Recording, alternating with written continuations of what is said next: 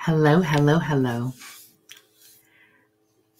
So, today we're just going to go over lesson number two.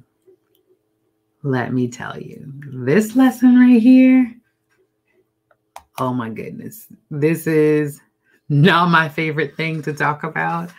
However, I felt pressed to uh, just come on and share because my week, I'm like, I don't know what your week has been like, but my week has been full of some things that got into my heart this week. Um, yeah, my heart. Um, and so I wanted to come on and share with each of you. Uh, it's a little embarrassing, a lot embarrassing. Let me, let me say that. Um, so I'll just start off before I put up the full topic and tell you about my week. So I had a week full of um, some disappointments, some business things didn't go the way I wanted them to do go or expected them to go. Some travel got canceled at the last minute, so that got under my skin. And then I was asked to um, just continue to do Lillian's lessons and um, to do the love letters. And I was like, self, and myself was like, hmm. And I was like, I don't really want to do that. I, I don't want to do that. Like, I, I absolutely don't want to do it. And I just could not let go of the feeling that I needed to come on and just give this um, bit of these nuggets to you guys because um, I'm living this thing out called life. and so these are my lessons that I'm learning the very hard way, unfortunately for me, right? So the lesson this week is matters of the heart. And I'm calling these things the great destroyers, matters of the heart, the great destroyers. And so I have some things listed like rebellion and disappointment and pride and guilt and shame and unforgiveness and all of these other ones. And you can see them scrolling across the bottom of the screen. I won't take them away right away. And so this week I had some rebellion get in there. And I mean, I was literally kicking and screaming on the couch because I did not want to do that lesson last week. I did not want to record Lillian's lessons. And I did not want to do the love letters because I'm a private person, right? and so that's why last week I said sometimes your preferences don't always look the way you want them to look. And so my preference is to just be incognito. My preference is to just be in the quiet.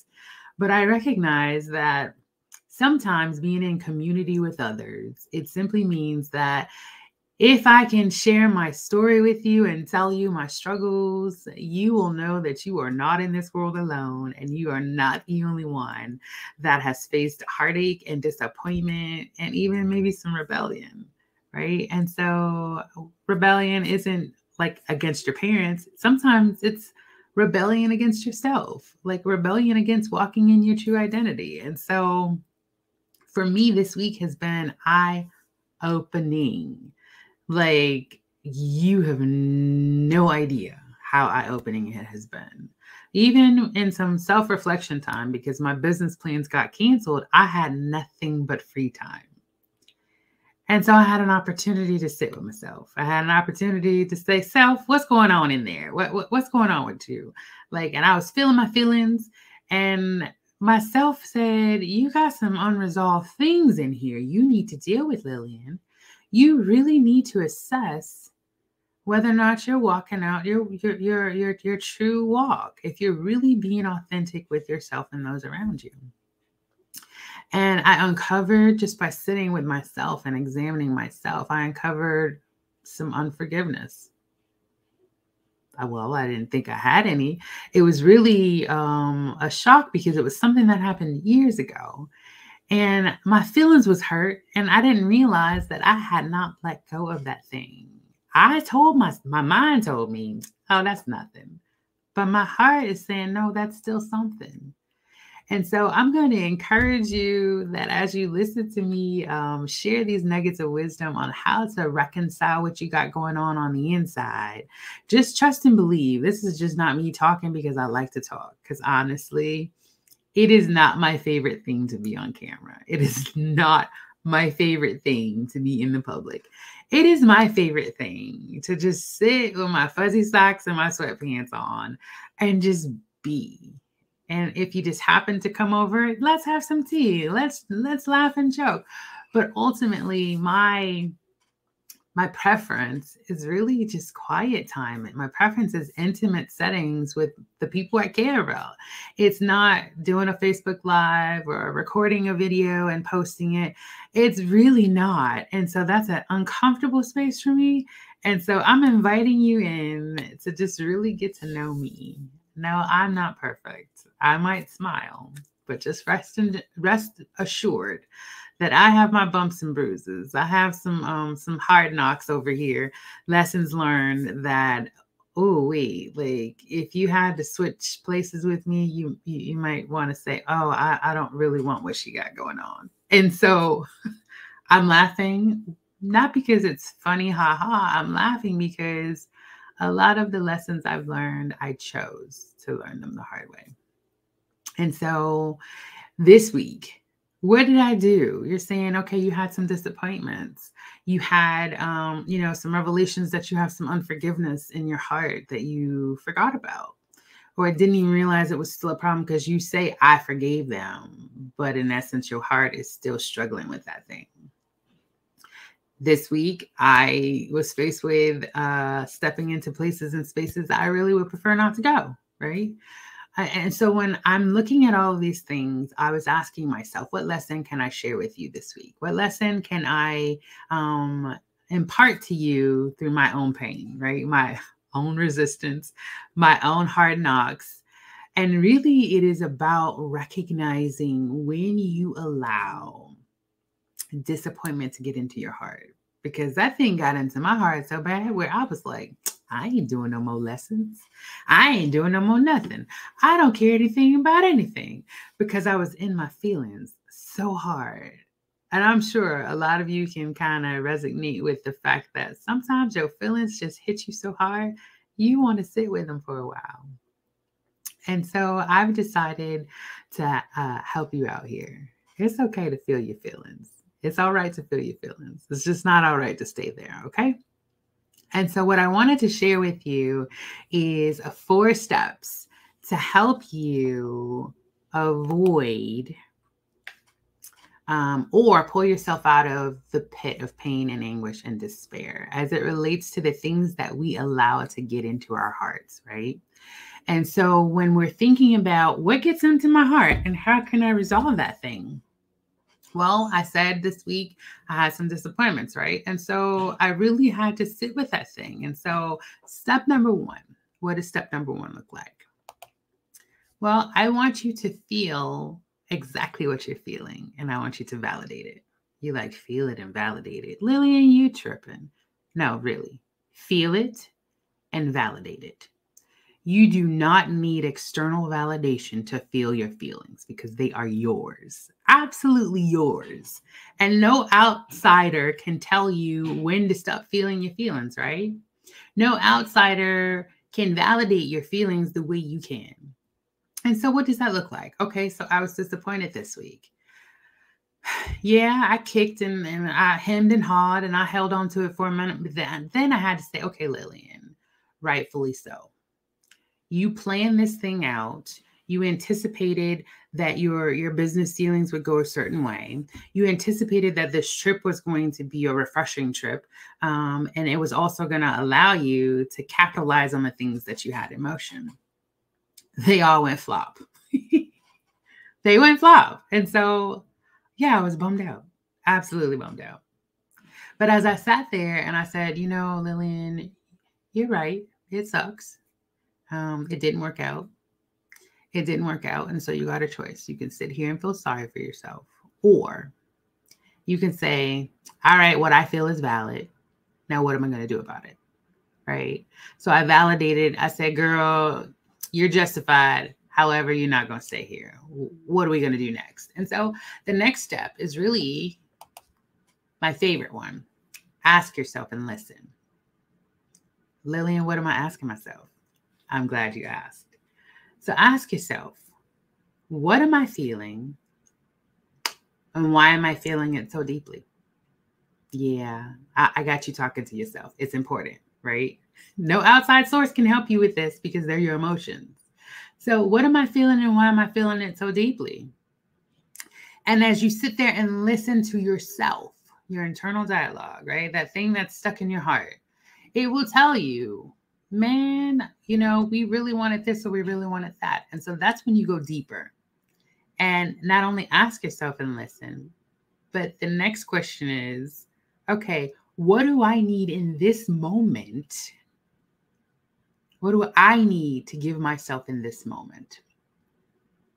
And the beautiful thing about yourself is your internal world will absolutely tell you what you need. And you know, it's going to surprise you. It's not going to be call a friend. It's not going to be go to the movies. It's going to be, you know, a bubble bath would be really nice to just just just relax this disappointment off of me. It might be, hey, I want some ice cream. It might be, hey, you know, maybe I just need to watch something funny or maybe I need to read a book but your internal wisdom will tell you exactly what you need in the moment that you're feeling what you're feeling. You just got to listen. Okay? All right. Are you going to be a good listener? Please be a good listener because yourself is ready and willing to talk to you. If you allow that internal wisdom to surface and you to tell you what you need in this moment. Remember, step one is about feeling it and validating it. It's not about feeling it and being vengeful. It's not about feeling it and lashing out. It is about feeling and validating your feelings. Two, ask yourself for that internal wisdom, right? And make sure you're listening. You have two ears and one mouth for a reason. Two ears to listen and one mouth to speak when necessary. And sometimes your mouth just needs to be closed so you can hear what your internal world needs you to hear. Okay, that still small voice that I talked about last week. Make sure you are honoring it because it is part of the healing process. Okay. All right. So, step number three examine and learn. What do I mean by this? I'm glad you asked. Examine the information that you just got and learn from it. Examine the disappointment. Examine the situation that caused you to be mistrustful. Examine it all the betrayal, the shame, the guilt, whatever it is that's in your heart, examine it and figure out why the roots on that thing is so deep. Because when the roots are really, really deep on what you're feeling, it means that you have some unresolved stuff in there. Okay. And so, no, I'm not your therapist. I'm not telling you that I'm going to sit here and, and coach you and be your therapist through this process. I'm giving you some pointers that help me on a daily basis to not get stuck in it. Right. And so, examining and learning is the key here. What just tripped me up? Why am I feeling this particular emotion so deeply? Examining it and learning your triggers right? What triggers you into the deepest deeps and the darkest depths? You have to learn it because the roots are there. If you're feeling something extremely deeply, it means you felt it before. You have to look at all of the things that are contributing, all of the un- unpacked luggage that is contributing to the depth of what you're feeling. Okay. This is an important step. You cannot skip it. You cannot skip it. You cannot skip it. Promise me, promise me, promise me that you will examine and learn from whatever it is that's in your heart in this moment. Okay? Promise? Okay, good. Step number four take action and lead yourself forward. What do I mean by take action? I'm glad you asked me. Take action means you get to say, All right, Lillian, right? All right, self, it's time to get up out of this. We cannot stay here. This does not allow us to move forward. What do we need to give ourselves? Give it to yourself and then say, okay, what's next? Why is that important? You have to have an action step to help you come out of what you're feeling, right? Sometimes people take those action steps on the negative side and they say, oh, I'm going to give this person back, or I'm going to do this to this person, or I'm not going to blank this, or whatever it might be. But instead of choosing things that are just going to make your hole deeper, figure out what you need in this moment give it to yourself and lead yourself forward. Resolve to be a person of reconciliation, a person of peace, a person of forward momentum. Okay. So I had to pick myself up this week. Yeah, I was disappointed. I had to come on here and, and share this nugget with you because I don't want you to end up getting stuck like I almost did. I have some tools in my kit that helps me realize snap out of it, young lady. You cannot stay here. And so I'm going to encourage you if you take these four steps, you will do amazing, amazing, amazing at not allowing the great destroyers to get into your heart and stay there. I didn't say you won't ever feel it, but I said they won't come and take up residence in your heart, right? You have the power within you to resolve every emotion that comes to you. You have to decide how you're going to resolve it and then do it. It is possible. We all have emotions, right? We have every single one of the emotions. You're not broken because you feel them intensely. You may just not have learned how to manage them. And so I'm going to encourage you to really, really, really chew on what I share with you today. Because when you decide, no, I'm going to let that stay in my heart, that is a form of self abandonment. Yes, abandonment is one of them when someone leaves you, but self abandonment is when you leave yourself. And so I'm going to encourage you to not leave yourself in the darkest depths. Do not leave yourself in despair. Do not leave yourself in pain. Do not leave yourself in anguish because you have the power within you if you so choose. Again, choice, right? You get to choose. And so I'm hoping you'll choose you. Choose to pull yourself up. Choose not to stay there. Choose to resolve it internally. Choose to heal. Choose to be be considerate of yourself right? And so this reflective process what am i feeling right? And what can i do to move forward? Those things will propel you out of any situation out of any one of those great destroyers that might come up. Because life can be harsh right? We've all experienced it but we don't have to stay in it. We can always um, find our smile again. We can find our laughter again. And we can recognize when we're being a brat. I was being a brat this week. And so I can say honestly to all of you don't be a brat like me, kicking on the couch, a whole tantrum, and grunting on the couch because you didn't like the outcome of something. Recognize that that is not the end, that the failure is not final nor is it fatal. That disappointment comes and it goes. That you have the power within you to reconcile it all and know that this is not your end. This is a moment in time, a moment in time, a moment in time. And it does not define where you're headed. And so, if you like what you are hearing me say from week to week, definitely drop a comment in the comment box. I've already created a Facebook group for Lillian's lessons if we want to have a deeper discussion on any of the topics, or you need me to explain a little bit more on the different steps or something that you might be getting stuck at. Again, I'm not your therapist, I'm not your coach. But I am your friend, and I am willing to use my hard learned lessons to help you avoid them. And so, again, it's not my favorite thing to do, but I am willing to be here every week to share my bumps and bruises, my learning lessons that you may thrive from my mishaps, maybe get a laughter or two, maybe learn how to kick and scream, but definitely learn how to come up out of the darkness of what you're feeling at any given moment. So if you want to stay updated, um, the Facebook group information, that's what this is for. Um, and then let's stay connected. So if you want to figure out what Lillian's up to, I have a website, www.lillianljackson.com. You can go on there and look at the stuff that I have going on. But you can also follow me on social media all of my tags are on my website. So make sure you go there and connect with me um, on all of the different platforms.